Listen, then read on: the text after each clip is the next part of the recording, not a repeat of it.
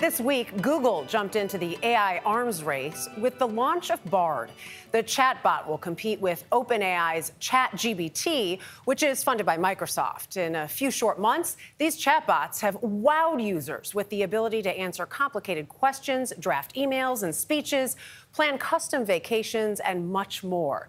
But as it improves, this technology offers immense promise and significant, some say, existential danger. Brook Silva Braga traveled to Toronto, one of AI's leading research hubs, to meet some of the people building this brave new world. So yeah, so this is a, a, an experimental preview of a chatbot we've been working on powered by our generative language model. Okay. Nick Frost is a co-founder of Cohere.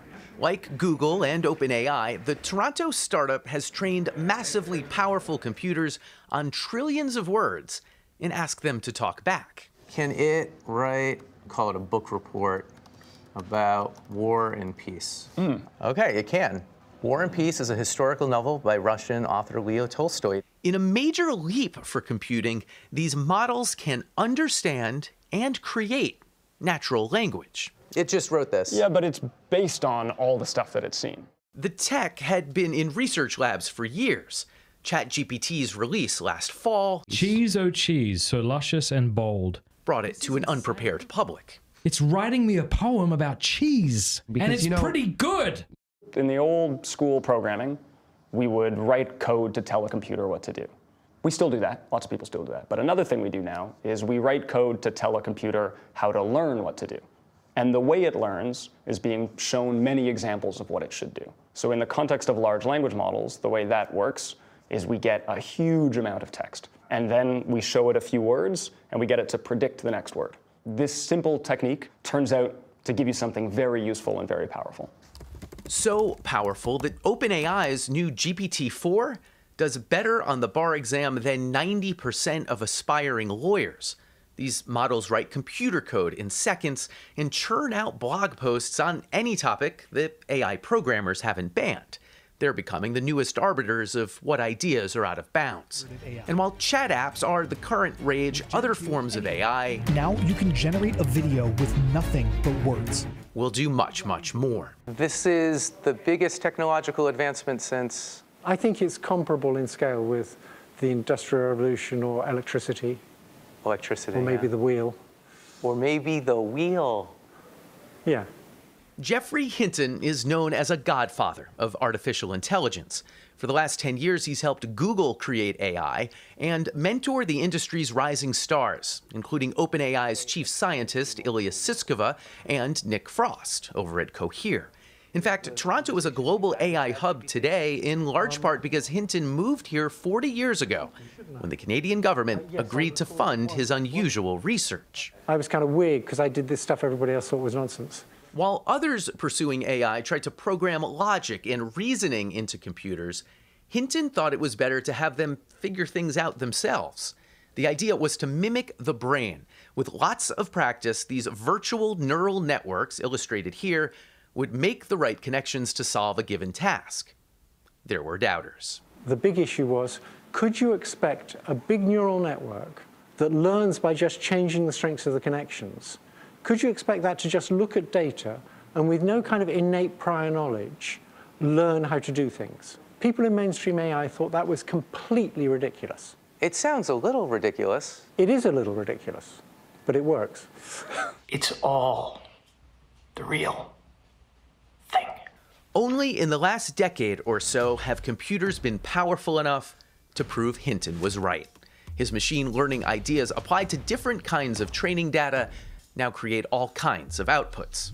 This, of course, isn't Tom Cruise, but a deepfake impersonating him. I went down to the office because they were making a robot of me. This isn't Andy Warhol's voice in the recent Netflix documentary, but a clone generated by Resemble AI.